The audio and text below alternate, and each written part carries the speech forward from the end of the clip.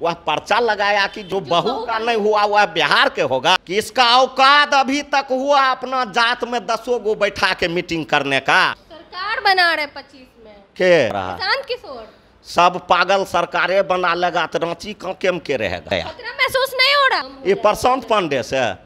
ऐसे ऐसे लोग से राजद वाला डराता है। बाबू लालू प्रसाद यादव जी बाबू तेजस्वी यादव जी। आज इसको अपना कुछ समझदार ये नहीं। तो ये अर्पणा यादव है। कल तक इसको बाप दादा के भी खटिया कुर्सी पर नहीं बैठने के लिए दिया जाता था। वही प्रशांत पांडे दिया था गोतिया। जाके बाप दादा से पूछे बीजेपी इसको पैसा देता है बाबू तेजस्वी यादव जी को बाबू लालू प्रसाद यादव जी को परिवार को गाली देने के लिए। बीजेपी क्यों पैसा देगा? बीजेपी इसलिए पैसा देता है कि बीजेपी का डायरेक्ट औकात नहीं हुआ। फरियाने का अभी तो बिहार में बाढ़ आया है और उसी बाढ़ में भांस के प्रशांत पांडे और उसका जन स्वराज भी आया है। देखते हैं बाढ़ में कितना घोंघा कछुआ आ, कोकरा आता है आ भांस के फिर चल जाता है। वही प्रशांत पांडे इस चुनाव भाँस जाएगा आता पता नहीं रहेगा। प्रशांत पांडे लोग को चला है झुंझुना दिखाने के लिए। ऐसा ऐसा पांडे कितना झुंझुना डमरू बजा के आया कितना गया। जो बहू का नहीं हुआ वो बिहार का क्या होगा? बिहार तो अब जन सुराज का होगा। पटना के कोने कोने पे जो है ये बैनर लगाया गया है जन सुराज की तरफ़ से।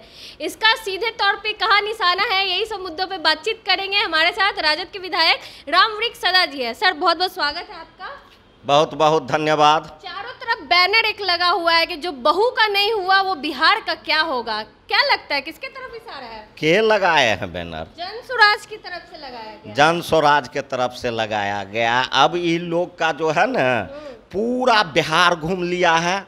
घूमने के बाद इन लोगों का औकात का पता चल गया कि हमारा औकात क्या है। जनता इसको साथ नहीं दे रहा है। जिसके घबराहट से आके ये घबरा गया है ये सोच रहा है कि हम जिस मिशन को लेके चले थे, जिस मिशन के लिए बीजेपी हमको बिहार में लॉन्च किया था, प्रशांत पांडे को जिस मिशन के लिए बिहार बीजेपी लॉन्च किया था बिहार में, हम लोगों के नेता आदरणीय बाबू तेजस्वी यादव के विरोध करने के लिए, अब उस पर इसका पानी फिरते आ रहा है, इनकी बातों को जनता सुनने के लिए तैयार नहीं हो रहा है।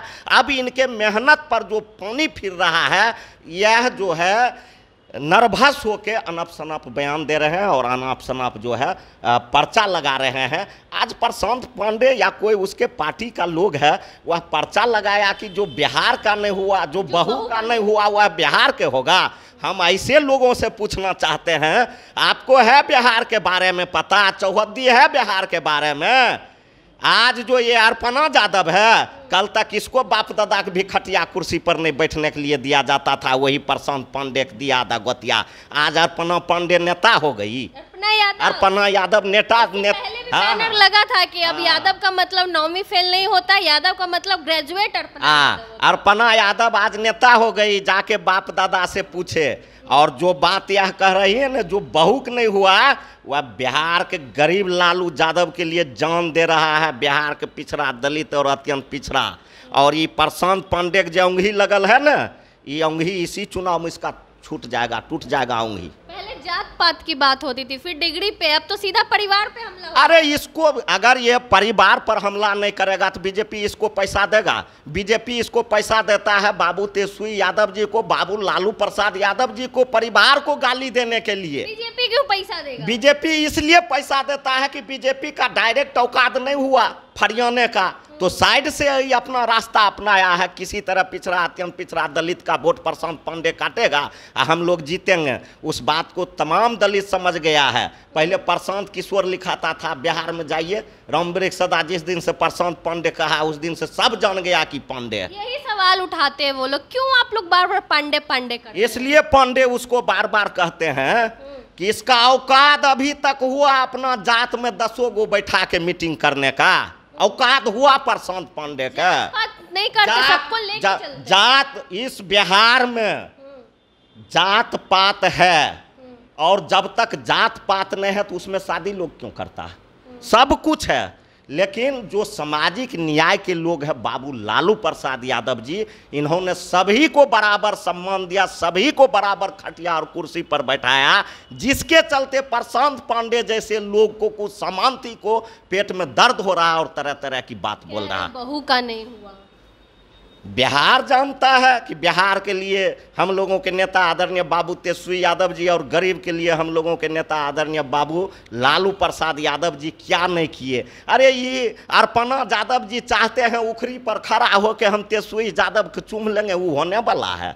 तेजस्वी यादव लालू यादव के विरोध में कितना यादव विरोध करते करते चल गया अभी विरोध करने के लिए आया। चौराहे पे लगे हुए क्या फालतू जितना भी यादव देखता है सब अर्पणा यादव के कोई अच्छा कहता है। सब उसको गलत सलत कमेंट करता है। लिखा हुआ कि अब बिहार जन सुराज का होगा यानी दावा ठोक रहे पच्चीस में सरकार बनाने की वहाँ अभी तो बिहार में बाढ़ आया है और उसी बाढ़ में भांस के प्रशांत पांडे और उसका जन स्वराज भी आया है। देखते हैं बाढ़ में कितना घोंघा कछुआ आ, कोकरा आता है आ भांस के फिर चल जाता है। वही प्रशांत पांडे इस चुनाव भांस जाएगा आता पता नहीं रहेगा। सरकार बना रहे पच्चीस में। के? दावा ठोक रहे के सरकार बना रहा है? किशोर।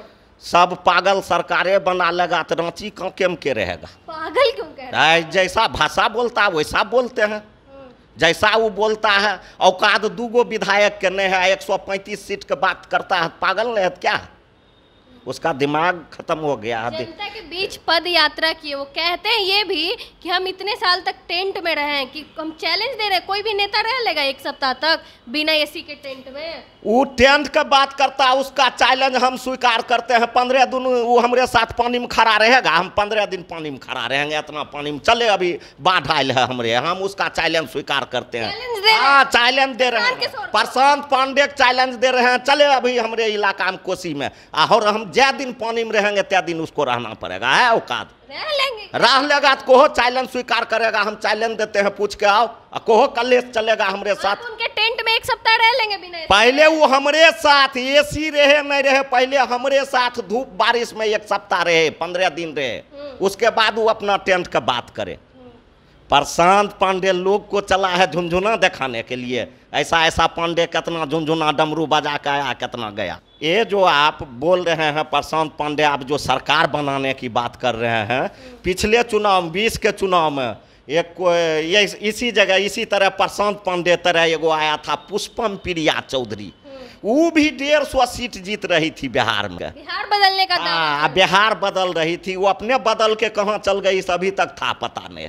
वही वही हाल प्रशांत पांडे का होगा पुष्पम प्रिया चौधरी का हाल होगा प्रशांत तब उससे भी बुरा हाल होगा। दिखने वाले नहीं नहीं क्या दिखेगा? उसका तो नाम भी पुष्पम प्रिया के ले लिए एकर नाम भी कोई लेने वाला नहीं होगा प्रशांत पांडे दो तारीख को पार्टी बना रहे हैं दो लाख लोगों को बुलाए हैं।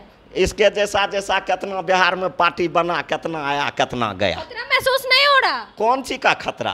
कौन सी का खतरा? आपका वोट थोड़ा कम ये प्रशांत पांडे से ऐसे ऐसे लोग से राजद वाला डराता है। बाबू लालू प्रसाद यादव जी बाबू तेजस्वी यादव जी। हम्म। इसी के जैसे लोग से डराता है जिसको अपना कुछ समझदार ये नहीं है। चलिए अब तो 2025 में देखना होगा कि प्रशांत किशोर का जो दावा है 25 में सरकार बनाने की वो पूरा होता है या नहीं होता है? बाकी आप अपनी राय कमेंट बॉक्स में ज़रूर दें। धन्यवाद।